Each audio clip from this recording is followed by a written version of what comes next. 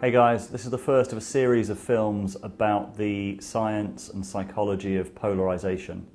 And it's something that we've been working on for quite a while. Uh, got some really interesting interviews with uh, Peter Levine, Stephen Porges, and with Alex Evans. And it's kind of a, a topic that we've been talking about for quite a while generative dialogue, conversation. This is kind of delving a little bit deep, more deeply into that as a, as a subject. And this introduction, we're going to try and sort of tie together the the whole series, give a sort of briefing of why we think all these pieces fit together, and also to say what's really interesting. And there seem to be a lot of people who are zeroing in on this kind of area at the moment. Just a couple of days ago, coincidentally, I saw on Twitter that James Lindsay and Peter Boghossian, who you may know as the academics from the grievance studies um, hoax, the grievance studies conversation, um, are putting out a new book called How to Have Impossible Conversations. And they've kindly sent, uh, sent us a sort of advanced copy to have a look at, and it's really, really interesting. And right at the beginning of that book, they say this, the central thing for generative dialogue or for genuine conversation is psychological safety. And that's exactly what Stephen Porges and Peter Levine have been working on since about the 60s and 70s. So I think it's a really interesting frame to bring into this sort of more political conversation. What's exciting for me about this is that this is something we've been talking about since the beginning of the channel. And part of the reason that the intellectual dark web was so interesting, you know, people getting together from different sides of the political spectrum or, you know, with different cultural values, sitting to have a long form conversation over maybe, you know, two or three hours. And the promise of that was that this was a, a way to really overcome polarization and to find a new synthesis. One level is to be able to sit down with someone and have the conversation without um, attacking each other, let's say, to put it in an extreme. The other level is for that conversation to go to some new territory. And I think that for me is the really interesting thing. And so this is one missing piece. I think these these um, it's almost like the foundations. Yes, yes, exactly. And so you you know you mentioned psychological safety. There's that, and there's also a, a lot of other elements that come into it. And I think this is the this is exciting because this is one of those absolutely key elements without which, you know, I don't think without understanding the biology and the psychology of these conversations, I don't think they can be done. It's not like a nice to have. I think it's absolutely essential. Mm. I'm just going to play a quick clip from Stephen Porges that I wasn't going to play until a bit later, but I'm going to play it now because I think it fits this perfectly because he talks about better living through neurobiology. As we understand the neurobiology of what it is to be a human being, when that becomes our guide, then culture and life becomes better. I, I put on one of my slides a couple of days ago uh, a, a, kind of modification of what DuPont, the chemical company, used to say, used to advertise better living through chemistry. That was their, their slogan. And what I was saying was really maybe better living through uh, understanding neurobiology. I think it's also worth noting this isn't just about having difficult kind of political or cultural conversations. This is about life. This is about how do we have conversations with each other? How do we have conversations with our partners? There's that classic phrase of if you think you're enlightened, go and spend a weekend with your parents. You know, it's it's about how we have a how we stay in our centeredness and have conversations in general. So yeah, as we've talked about, like this kind of understanding, I think is the foundation. But what's really important is sort of building from that foundation, and then what, what what's the real world impact? And that's why it's really exciting to have an interview with Alex Evans. So I'm going to play a short clip from him now, because he, he was a government advisor for many years. He was involved in a lot of um, summits around climate change and sort of big government policy, and became quite dispirited because what he realized was all of the work of government was talking about the externals and it was almost never talking about the internals. And so he went on a bit of a journey around sort of understanding polarization and learning more and more about psychology. And now he's launching something called the Collective Psychology Project. I mean, one of the ideas at the heart of the report that we've just produced is the idea that the inner and outer crises that we see in the world and inside us are two sides of the same coin. So, on the one hand, you have this sort of pile of crises out there in the world, like climate breakdown and hyper inequality and mass extinction and so on. And then over here, you've got this pile of mental health crises like suicide and self harm and anxiety and depression and addiction and so on and so on. And what I'm arguing in the report is that at the moment, you know, these two sets of crises are fueling each other. We feel messed up uh, inside, partly because we feel like the world is messed up out there. And when we feel messed up inside, when we're kind of triggered, we act out in ways that worsen the state of the world. So again, it's another example of a feedback loop. Now, you look at mainstream politics as it is today, or for that matter, the kind of campaigning that you get from big global NGOs, it only talks about the outer stuff. It's all about you know issues in the world out there, and it's just silent on the question of the states of mind of the citizens who are voting or the policymakers who are making the decision. It's sort of you know they're just completely separate. So one of the things I find particularly interesting, not just about what Alex was saying, but about this entire topic, is that there's lots of different levels to it. You know, so Alex is talking about, you know, government tends to look at the systems level, but needs to also look at the individual level, and those two things are, you know, as he says, two sides of the same coin. And then there's the biological level of understanding where my biology is while I'm doing it. So there's all these different layers to it, and I think what seems to be happening right now is lots of people are coming in from different angles and hopefully, and what's very interesting is what does a synthesis look like and what is it and how do we take that synthesis and use it practically in our kind of day-to-day lives? So it was really fascinating to see the journey that Alex had been on from a completely different starting point, the starting point of like politics and systems change. When I was chatting with him, he had exactly the same reference points that we're familiar with from our counselling training polyvagal theory, somatic experiencing, Peter Levine, Stephen Porges, all of this stuff. And they were, they're like, in a way, sort of like superstars in the counseling and, and in particular in the trauma world, because they were the ones that really understood how the body stores emotions and how the body, um, how the body metabolizes experience. And this, this kind of work is just, I think, absolutely crucial to bring into the mainstream, bring into the, the sort of political and the conflict world, and understanding that, especially now and, and more and more eh, under the influence of social media and under the influence of kind of ever expanding and ever increasing pace of life, we're all in some sort of low level overwhelm a lot of the time, or a lot of us are. So this kind of work becomes essential to navigating those, those kind of spaces. And we were lucky enough to get an interview with Peter Levine when we were out in America recently if you're talking to two people who are in the hyper vigilant state, the sympathetic adrenal state, or the shutdown state, even more so, you can't engage with them because you perceive them either as threat or as mortal threat because your nervous system is stuck in that groove. And so there's no way you can really listen to another person and, and express yourself so that they want to listen to you while you're in one of these stuck states. You have to be able to come into the social engagement system. Yeah. Could you talk about like the physiology of this? Like what is actually going on when we're in these conflicts with each other and when because what I also understand is that we stop listening to each other at a certain point. The polyvagal theory gives us a very clear map of exactly how that works and what it looks like.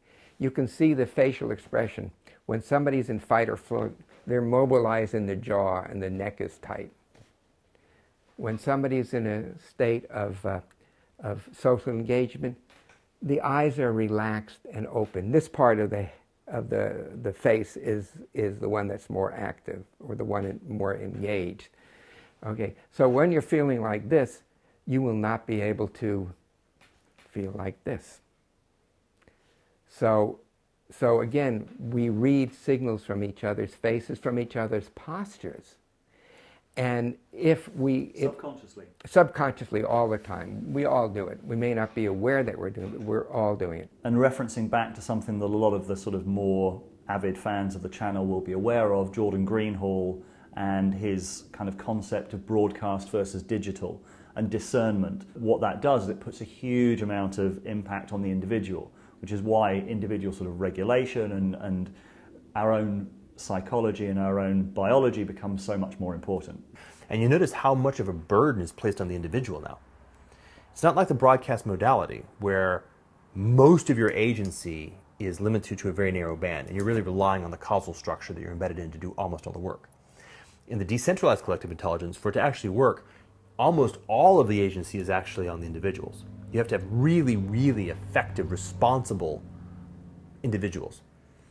Uh, and by responsible, what I mean is they're they're able to respond to the environment in the way that I'm talking about. They are not reacting. So I think one important thing to add to that is that while it starts with the individual, it doesn't stop with the individual. So you know, um, Jordan Hall talks about this concept of sovereignty, and you know what you were just describing, kind of coming into our own agency and our own discernment, so we can start making sense of the world. But we have to make sense of the world with one another. So we have to find a way not only to be sovereign in ourselves, but to be open and contactful with one another and to figure out, okay, how together can we be in a mode where we're starting to make sense of the world better than one of us could by ourselves. So to come back to Alex Evans and the Collective Psychology Project, a lot of his work he did in, in Israel. He went to live in Israel for a while and just saw how, in Israel in particular, everyone is in a state of kind of low level uh, hypervigilance at all times on, on both the Palestinian side and the Israeli side, and how that affects politics there, and how it makes things very, very difficult because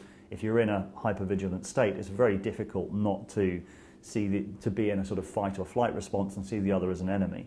It's almost impossible. And he then draws parallels with what's been happening in the in the UK and the US. I'm going to play another quick clip from his interview. I took a sabbatical for six months um, and went to live in Jerusalem with my family um, for that period. And obviously, the political polarization there is even more extreme. Um, and at one level, that was incredibly depressing. And I could see the kind of similarities with Brexit or with Trump's America. I mean, obviously, it's more extreme uh, in Israel and Palestine, but nevertheless, felt like it was on the same spectrum in some sense.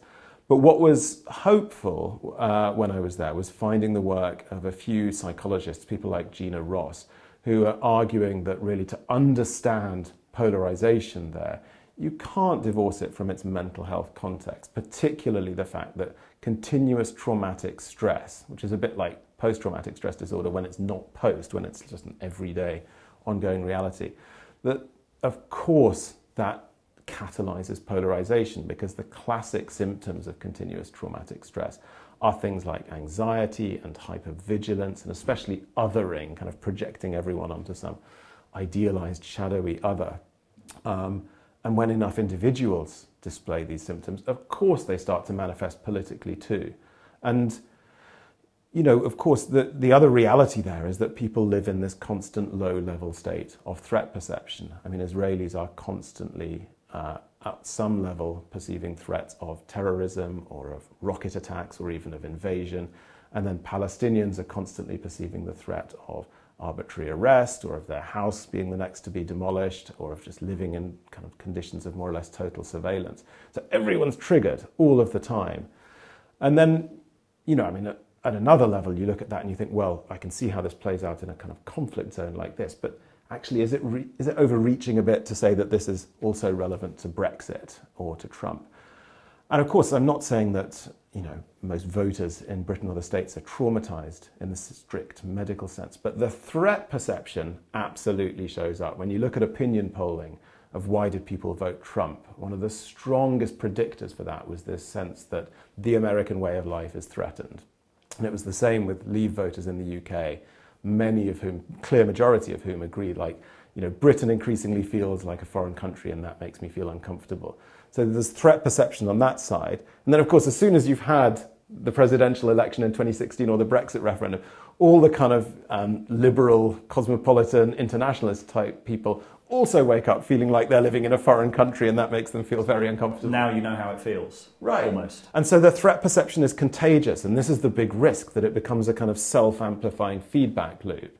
And so one of the questions right at the heart of the collective psychology project is well, how would we reverse the polarity of that feedback loop? So instead of you know, these kind of mutually reinforcing you know, threat perceptions across the political spectrum, we have a kind of mutual reinforcing process of sort of healing and coming back together to a sense of empathy for each other and respect for each other's experiences and how we reach the values that we've got and so on. I mean, my only concern with that narrative is that it can seem almost condescending because you're sort of saying, and when we talk about these things, when we talk about Trump or we talk about Brexit as being only a product of sort of fear, it, can sound like more of the liberal elite kind of thinking, well, we know better than you, why you've done something. How do you avoid that in the narrative around this kind of right. conversation? Well, I think, I mean, as I say, I think the issue of threat perception is by no means confined to one side of the political spectrum. I think, on the contrary, it's something that's sort of cropping up here, there, and everywhere. But I mean, of course, you know, you can look at, for instance, membership of the European Union and make a completely trenchant critique of the EU on very solid, rational bases um, that has nothing to do with threat perception or fear or anything like that. And I would, as it happens, buy a lot of that critique myself. There's much about the EU that needs reforming. But I think when you look at the state of our political debate and how much kind of triggering there is and how much just heat and you know projection there is in the discourse, there's something deeper going on here as well. Yeah, he mentions Gina Ross, who's an expert in this field and has been working particularly with conflict for a long time, who I caught up with the other day. So when you think about it, people are approaching the resolution of conflict in a very rational, reasonable manner but where is the attention to the emotional foundation? And these are the aspects that are not being uh, addressed when people are trying to come up with very rational, intelligent, cogent solutions for problems. But the emotions don't care about that. If I don't feel safe, I don't care how reasonable your solution makes, seems to be that's not going to affect me. So, what I then saw that was very, very important was to really marry the two fields together. So, I developed a protocol actually that combines the two on an ongoing basis the whole time. So, one of the key words for me is curiosity. And it's a, it's a really interesting word because it means when, when we're curious, we accept the idea that we don't know the answer. Like there's, a, there's, a, there's a kind of natural ability to be open when we're curious. And one of the light bulb moments on a recent course, that it was actually a breathwork course where they were talking about polyvagal theory and somatic experiencing, was where they started using that word curious and were saying that it's impossible to be curious and defensive at the same time, which is a really important thing. And that I think fits into the nature of like any kind of generative conversation is about curiosity. You can't be curious and traumatized at the same time the physiology uh, that doesn't allow them to both be there. So if you can get the client, enlist the client in being curious about their sensations and, and, and, and images and feelings, then you've gotten halfway there. I think there's a useful link from the world of uh, kind of meditation research here as well. There's a, there's a woman called Shauna Shapiro who's done a lot of studies on meditation. She talks about um, it's three elements it's attitude, attention, and intention. I think it applies very closely to staying curious. You, you, know, it's, it's very easy to be knocked off into thinking I know or I disagree with that. I, am just waiting for this person to shut up so I can jump in and, and put my point across. Often in meditation, it's called a kind of a soft alertness. And that's a, that's a skill to cultivate because it doesn't just come naturally to any of us, to any human being. And you know, you have to kind of literally engage your prefrontal cortex so that you can stay present and stay with it. So it's a, uh, it's kind of a, for me, it's kind of a dance between psychology and biology. That's that's a constant um, process, and you get better and better at it uh, the more you practice it. The other interview we've got with one of the pioneers in this field is with Stephen Porges, and Stephen Porges came up with polyvagal theory independently of Peter Levine. But when Peter Levine and Stephen Porges met, they immediately connected because polyvagal theory validated and explained what Peter Levine was seeing in his practice. So Peter Levine was having these understandings and realizations about how emotion and trauma was stored in the body and realizing that a lot of the time the body was intimately connected with what we normally consider psychology and polyvagal theory basically grounded that in neurobiology and it, it works primarily on the vagus nerve. The vagus nerve is the, the longest nerve in the body. It comes from the brain and goes to all of the major organs. It also goes to the face. And what polyvagal theory explains is firstly how we're constantly getting information from our, um, from our gut and from our heart.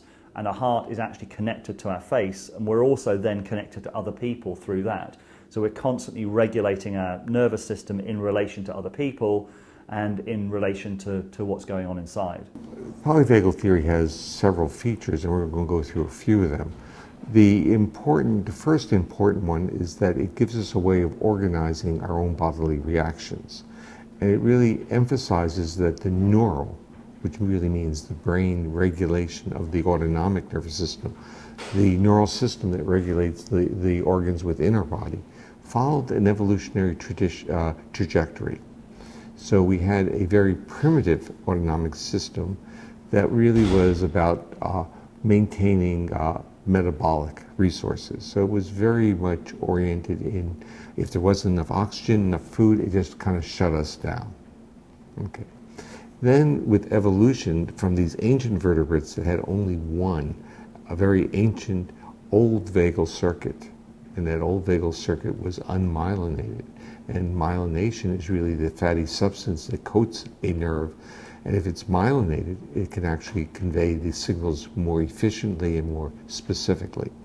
But in the very ancient vertebrates, they only had this older dorsal vagal system. But we still have it. It's the primary system that still goes to our gut. And the major defense response that the autonomic nervous system for these ancient vertebrates was basically shutting down, immobilizing, death feigning. Um, through evolution, a sympathetic nervous system came on board, and that one was a spinal sympathetics that came on with the bony fish. And you can see them moving and even stopping. So now you have an autonomic balance of mobilization through the sympathetic nervous system and immobilization that old vagus. And then what you have with mammals, and this is the interesting part of polyvagal theory, is something strange and something miraculous occurs with the transition from the ancient extinct, extinct reptiles to mammals. And that is you have a newer vagal circuit that's myelinated that helps calm or coordinate these, the older vagal circuit to support homeostasis and to enable sympathetics to work without getting you into fight or flight. But the other miraculous part is that the area of the brain that regulates that pathway of the vagus is not the same that regulates the old vagus going to the gut. It's linked to the nerves in the area of the brainstem. It's linked to the part that regulates the nerves that regulate your face, the muscles of your face and head. It regulates your social engagement system, your ingestive system, the way you touch and connect with the world. So it's really this kind of remarkable transition where our heart became connected in a neural way to the, the nerves that regulated our voice, the intonation of our voice, our facial expressions, and even our ability to extract information by listening. So there are muscles in our middle ear, our facial expressivity, and the intonation of our voice. So now we project our, our heart in our voice, and people know that intuitively they respond that way. We project uh, our feelings in our face. So these become the important parts of how we make connections with others. But the bidirectionality, so that we're, in a sense, if a person is in a physiological destabilized way, their voice is very different. And we often, if we're good therapists or good human beings or good parents or good teachers, we know that. And we calm them, and how do we calm them? It's not the words that are powerful. It's how we use the words. It's the intonation of our voice. So polyvagal theory emphasizes these evolutionary stages, but it also emphasizes that under challenge, under demands that could be illness or threat, our autonomic nervous system shifts state.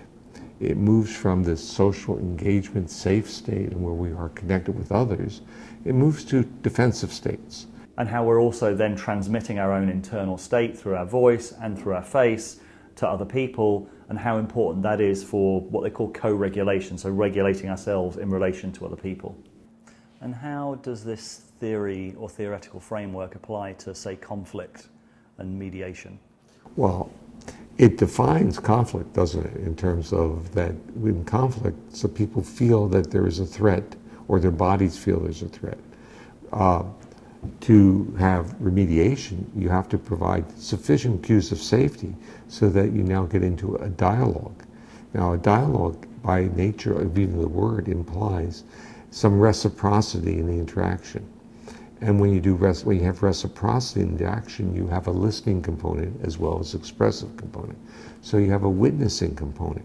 So it, part of, I think, the major issue of conflict is that people don't listen to each other. So they're not witnessing. And if people don't listen to you when you try to talk, or express something, or let's say you're even a child and you're not being listened to, what happens to your physiological state? You become very uncomfortable, you become frustrated, and as you get older with those same feelings, you become angry and belligerent. And so we have to understand that being listened to, being witnessed, not necessarily being agreed with, but being witnessed and appreciated for what you're saying, is really part of our birthright. It's something that we scream to, to have.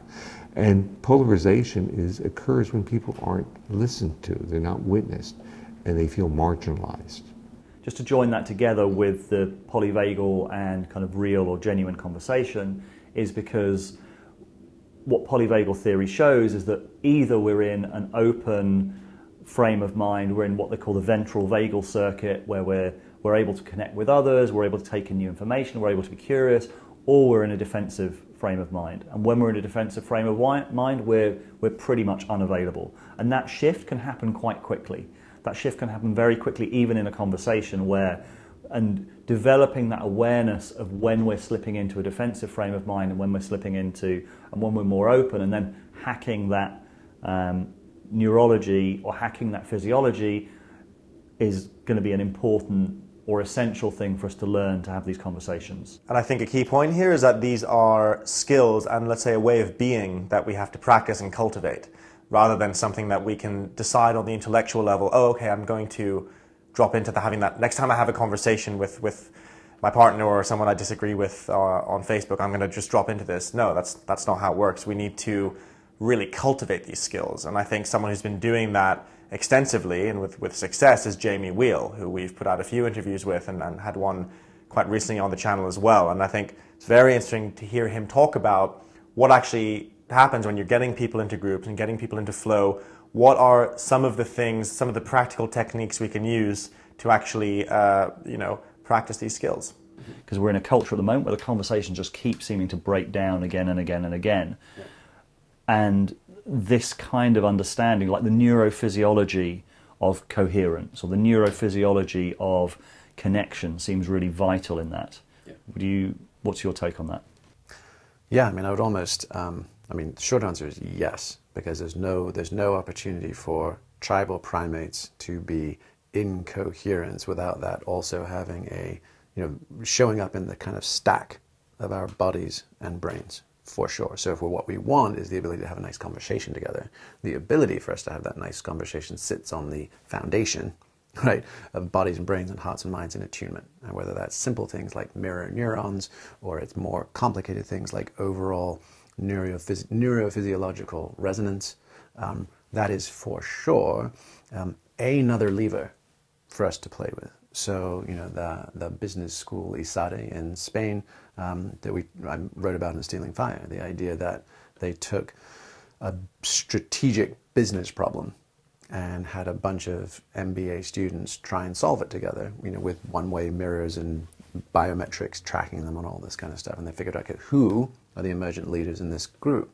And, and they backed out statistically you know, how much people talked, how loudly people talked, the words they used, even what they actually had to say about solving the problem. None of that stuff was statistically as significant as the fact that, that those leaders, those emergent leaders, could regulate their own nervous systems and do it in a way that entrained other people into their states. So it's a little bit like that old story of you know Galileo entering the watchmaker's shop and seeing you know all the all the clocks on the wall swinging in time with the one with the longest pendulum. So that idea of the longest pendulum entrains all the others into that field. That to me has been my inquiry really on the sort of biohacking space. Was what's the longest pendulums in our bodies? If we had to pick, I mean, there's a gajillion things we can map, track, measure, from brain waves to heart rate to heart rate variability to neurochemistry to posture to respiration to affect, you know, all sorts. But what are the one or two or three that if you get those right, the entire rest of our bodies and brains cascades into coherence, and then that's a strong signal. That's now that's lengthened our pendulum, and now we are far more likely to bring others into that coherent state. And so before we get to kind of what you know you might call communitas or like a highly coherent group presencing something greater than the sum of the parts. If you find yourself uh, in an attempt to have a coherent conversation, meaning we're trying to do something that um, none of us know what's going to come of this, but if we play it right, something better than any one of us separately could have thought of. Right? Let's say that's kind of a version of the game we're playing. And things start to go sideways.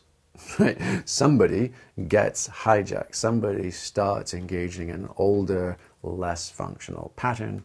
You feel triggered. You want to react. You know that's that right there. The first moment is, you know, this this is man's search for meaning, right? It's the it's the stimulus and the response, and the space between what's happening and my reaction to it. Therein lies freedom and redemption.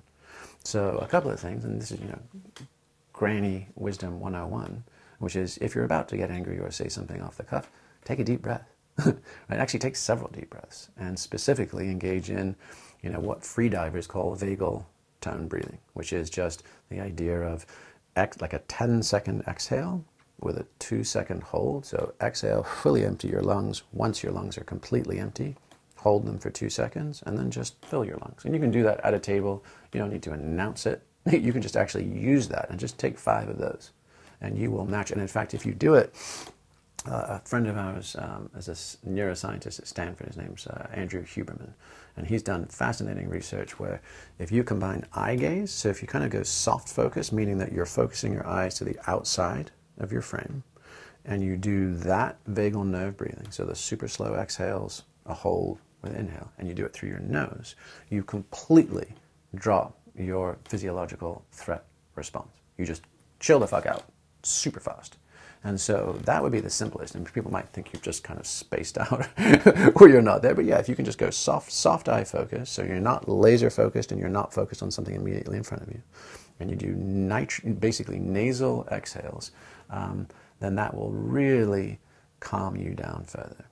The next would be, and, and part of the reason for the nose breathing, um, the Karolinska, Karolinska Institute in Sweden has done some fascinating research on nitric oxide. And that correlates with some research at Harvard that basically said nitric oxide is a neurotransmitter and it's a gaseous molecule and it takes stress response stuff out of our brain and it, shunts it all away and it brings in feelings of you know bliss. You even call it the bliss molecule, right? So basically, anything you can do in your body to increase nitric oxide is usually a good thing for stress response and resilience, right? So that was the Harvard research. Then the Karolinska Institute has found that nasal breathing increases it three to five times. And that if you really want to get freaky, vibrating your nasal cavity as you breathe out through your nose, so hmm, something like that, or if you were playing a didgeridoo or playing a clarinet or a trombone, that actually increases nitric oxide production 15 times.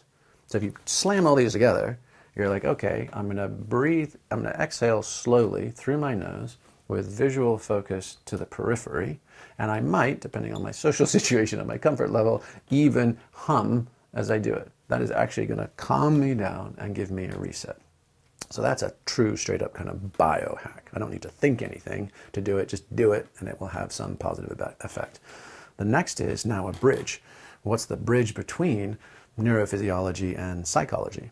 And then even higher level judo would be I'm not trying to fix it, change it, shape it at all. I'm simply going to notice it and name it. And with a little bit of practice, I can speak that truth into the shared conversation. And quite often you'll find a you'll find that the whole thing can drop to the level where, oh, me too. Or, oh, thank you for saying that. And then we're back to that level of resonance and coherence, not from follow me, I'm super stoked, this is all amazing, and I'm going to be this bright light. It's more like actually, let's actually orient around what is happening right now and what are the truths we can explore if we can stay in this place together without judgment, without naming the emotion, without then creating the narrative, without enacting triggered trauma responses around it. And that actually is arguably an even more magic place for us to get together to forge coherence, which is wherever the hell we actually are, versus some effort to escape it, fix it, mend it, transcend it my sense, I think, is that this is still quite cutting edge, maybe marginal, but it's definitely, the conversation's definitely moving in that direction.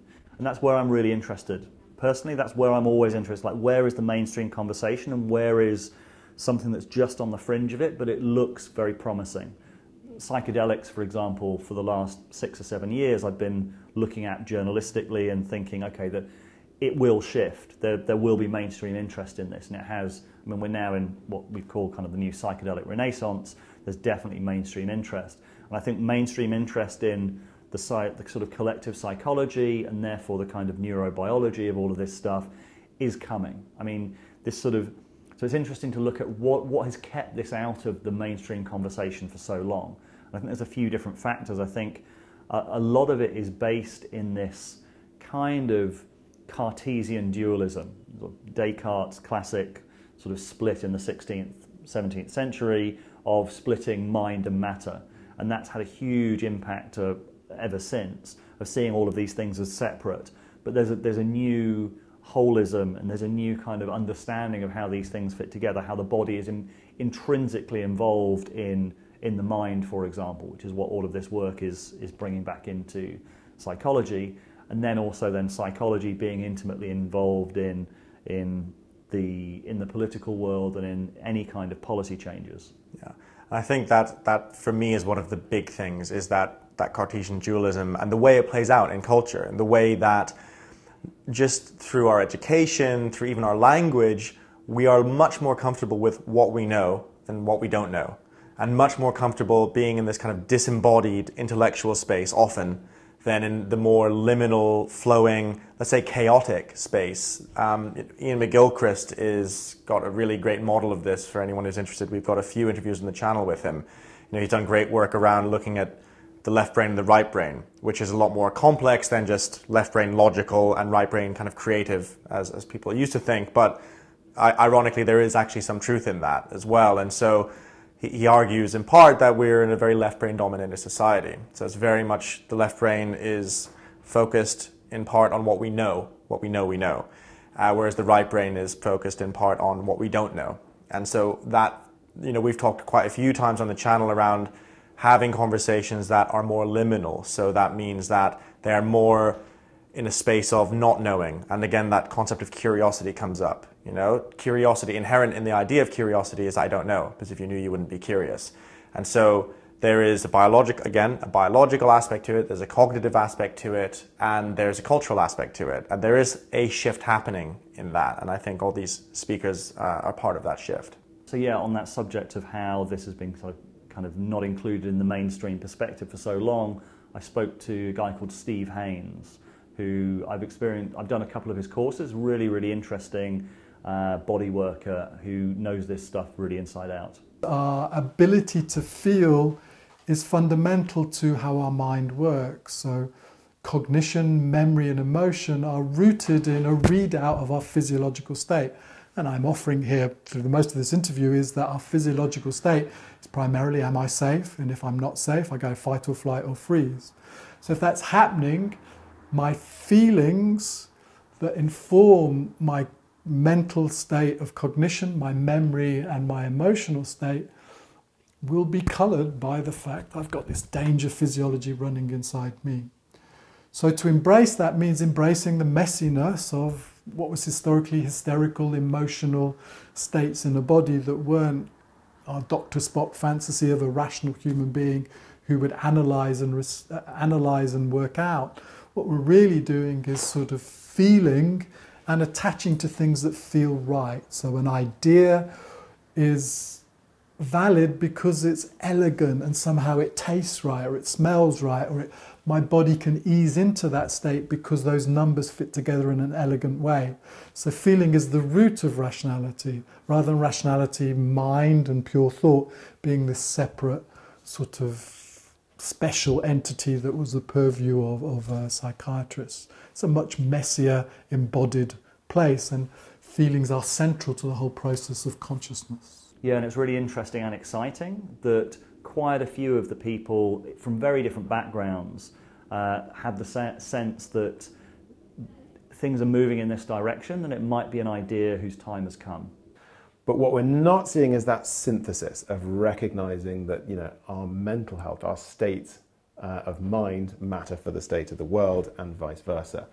But I think that's partly because this isn't an idea that's really surfaced much until recently. And now it feels like a lot of people are converging onto this territory. I mean, I don't feel at all like the Collective Psychology Project's the only player in this space. I think a ton of people are sort of converging on this space, which gives me a lot of hope. It feels like this is something that's kind of ripe, that's ready to, you know, mature and take root in the world.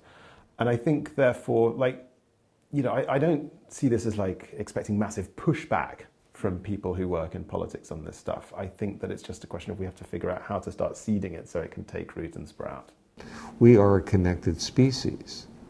And if we don't appreciate that, we are, in a sense, injuring the species.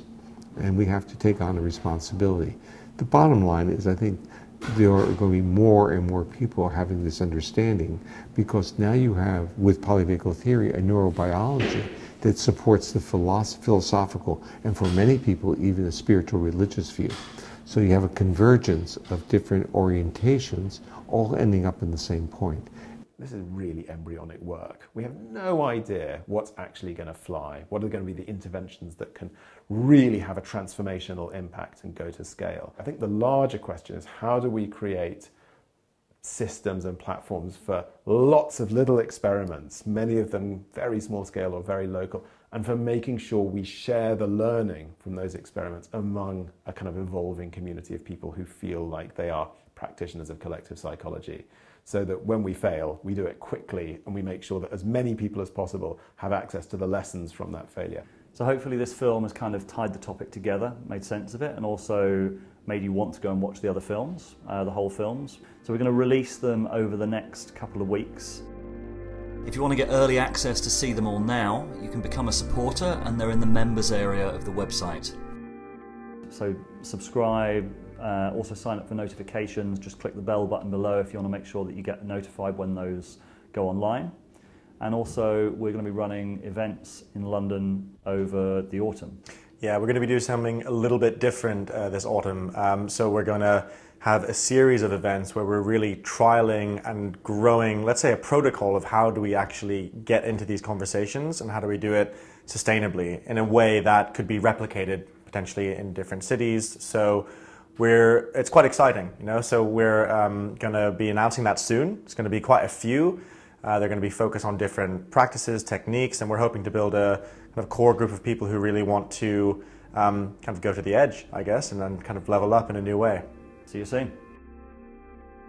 Rebel Wisdom is a new sense making platform, bringing together the most rebellious and inspiring thinkers from around the world. If you're enjoying our content, then you can help us make more by becoming a subscriber, which will give you access to a load of exclusive films. Also, you can then join our group Zoom calls to discuss the ideas in the films and you can send us ideas for questions for upcoming interviews. We're also looking for talented people to help us out with editing, graphics, music, that kind of thing. And if you're a regular viewer, you'll know we talk a lot about the value of embodying or actually living out the ideas that we talk about. So that's why we run regular events in London. Check out the links on the website for more. And hope to see you soon.